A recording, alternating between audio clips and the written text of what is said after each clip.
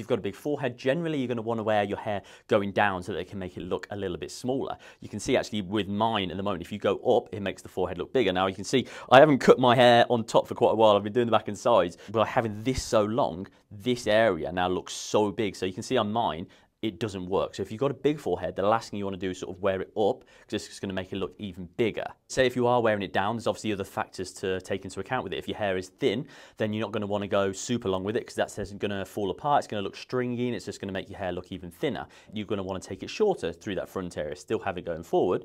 If your hair is thick, then you can have it going forward a little bit more and keep a little bit more length to it. The best thing to do is see a great barber or hairdresser and they'll be able to really give you the advice of what's going to work perfect for you.